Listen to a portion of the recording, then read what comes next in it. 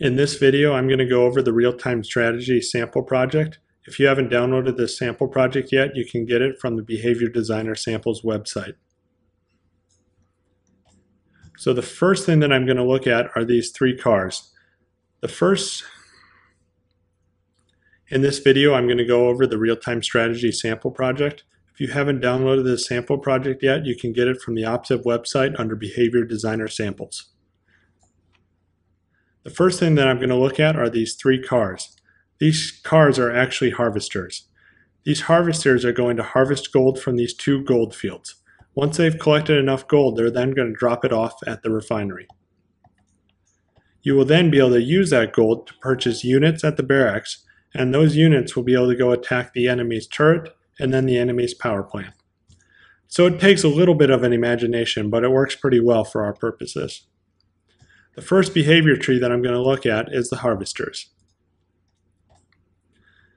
So I've opened up Behavior Designer and here's that behavior tree. The very first task that gets executed is this next gold field target task. This task determines which gold field is available next. Let's take a look at that code. And we can see that it has this gold field manager, or it gets an instance of this gold field manager. With that instance, it will then determine what the next Goldfield transform is. This Goldfield Manager has a list of all the different goldfields.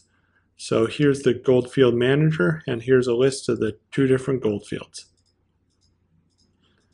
This next Goldfield Transform method will basically cycle through every element in the array. So first it will return the first Goldfield, then the second, then the first, then the second, and keep repeating. This next Goldfield target task will then take that value and assign it to this target variable.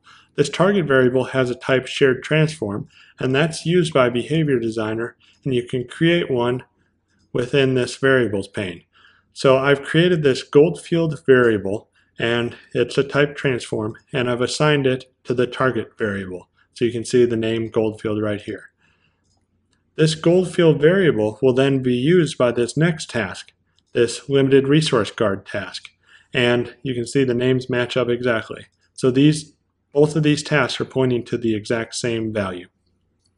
This limited resource guard, guard task is basically a semaphore. If we take a look at the code, or the reason why, the reason that we want this task is if we look at the scene, we can see that there are three harvesters but only two gold fields. We don't want two harvesters occupying one gold field at a single time. So we need to place this limited resource guard to prevent the harvester from occupying the resource if it's currently occupied. If we take a look at the code for that, so this limited resource transform is that shared transform that we had said earlier. So this is going to be a gold field, and we're going to get the mono behavior limited resource component from that gold field. We're going to ask that limited resource, is it currently occupied? Now, as you can see here, the gold field has this trigger area set up, so this will determine whether or not the gold field is currently occupied. If the gold field is not occupied and the current task is not executing, then we can go ahead and execute. If it is occupied, then we are going to have to wait at the current task. So the first harvester is going to go through just fine because the first gold field will be available. The second harvester is also going to go through just fine because the gold field will also be available. In this case, it will be the second gold field. The third harvester, however, is going to try to go to the first gold field because of this gold field or this next gold field target or task, and it will find that that gold field is not available because it's currently being occupied by the first harvester. So the third harvester will wait at this task until that gold field is available. Once the gold field is available, it will seek to the gold field. Notice here the target variable is the exact same variable that we had used for this next gold field target and the limited resource guard. We also have two more variables set up, the move speed and rotation speed, and that's used by this seek task, this seek task, and this seek task. Now if we look at the values for that, we see we have 15 and 1,000. Instead of setting 15 and 1,000 for each task, I'm just creating a new variable. That way, if I change this 15 here, the same 15 value will be changed throughout both tasks or all three tasks. So variables are act as a very good way to communicate between tasks. Once we arrive at the gold field, we'll then want to harvest some gold. In this case, we're harvesting two units of gold. After we get done harvesting the gold, we're going to wait a moment to make it look like we're doing something, and then we're going to repeat that a total of five times. Once we get done harvesting the gold, we're going to check to see if the unloading dock is available. Now, similar to the gold fields, the unloading dock has a limited resource component added to it to determine whether or not a harvester is within its trigger area. If a harvester is within its trigger area, then this task is going to return failure and this seek task will run. Now this seek task will seek to the waypoint and we can look to see the waypoint is right next to the refinery. So if we go back to the harvester's behavior tree and here's that waypoint one, uh, we can then look at this next task and this is also a limited resource guard. Now, you may think that we don't need this because we already checked to see if the limited resource was available right here. And in this case, if this returns success, then it is available. So you wouldn't think that we would need this. But we actually do because this seek task could return success before the unloading dock is available. And we still want the current harvester or the harvester that seek to the wait point to wait at that wait point and not go to the unloading dock where a harvester is already there. So if that unloading dock is available, then we will seek towards it. We will wait five seconds to unload the gold, and then we will actually unload the gold. So let's take a look at this in action. And the very first thing that you'll see happens is there's two harvesters and they're both going for the gold. So this one's seeking the gold field, this one seeking the gold field. That third harvester is currently stuck on the limited resource guard because there is no gold field available. So we're just waiting here.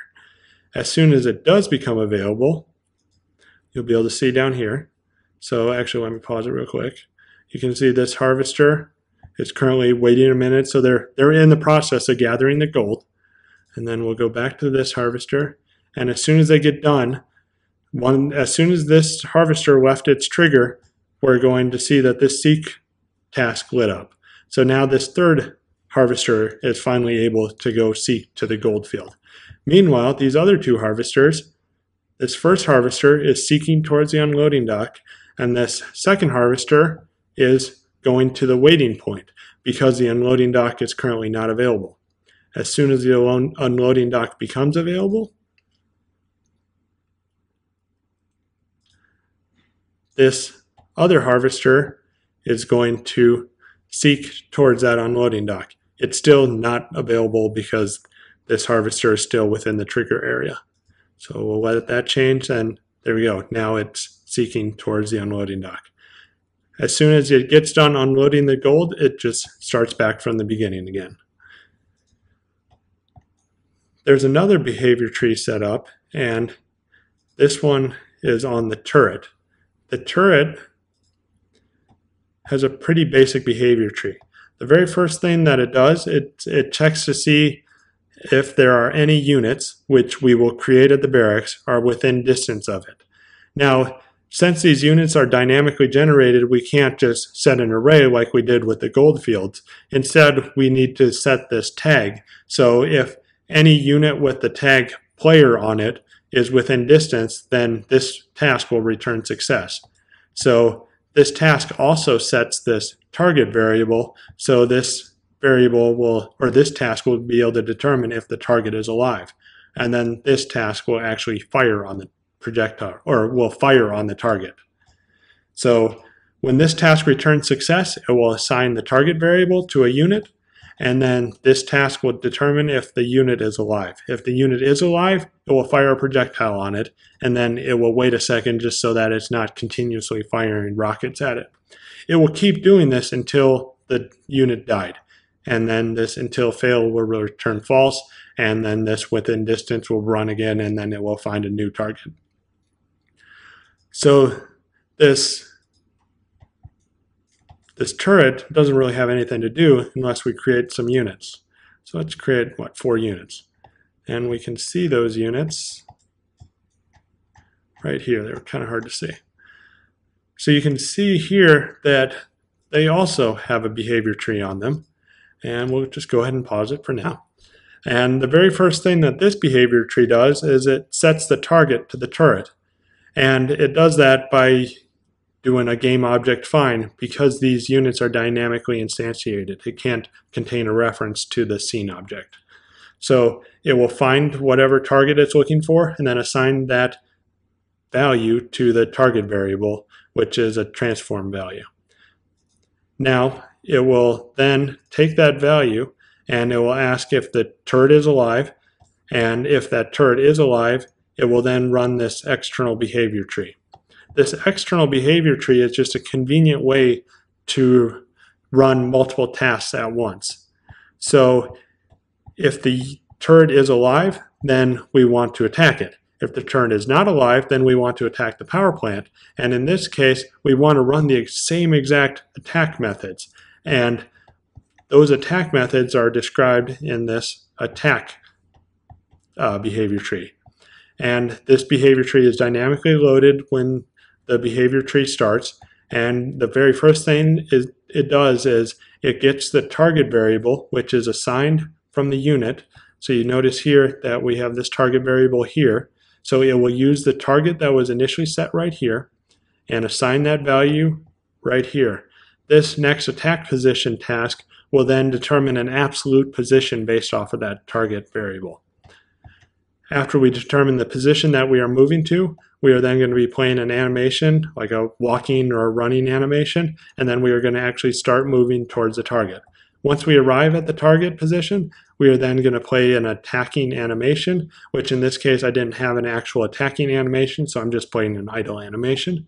And then we will do the, a similar group of tasks that the uh, turret ran, and it will just basically keep checking to see if the target is alive. If it is alive, then it will fire the projectile, and then it will continue. Then it will wait a second, and then it will just keep checking this over and over again until the target is not alive, or until the unit dies, in which case the behavior tree stops running as well. So let's go ahead and see this in action. I'll go ahead and click on the turret and we can watch its behavior tree.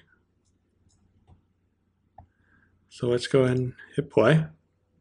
And now I'm going to switch cameras and I'm going to hit attack. So the units are currently attacking the turret and the turret is attacking the first unit that it found back. And so they are going to keep doing that. So the, the units or the turret's rocket is a little bit more powerful than the unit's rocket, so the turret ends up winning out. And so now the turret has been destroyed because there are enough units to be able to destroy the turret. In this case, we're just deactivating the renderer. The looks like the uh, the trigger is still alive. But now this next, let's see, the unit will now start attacking the power plant. So now it moves towards the power plant and starts attacking it. And so there we go. It's going to keep attacking it until it's destroyed, and then it will restart again. So that's the real-time strategy sample project.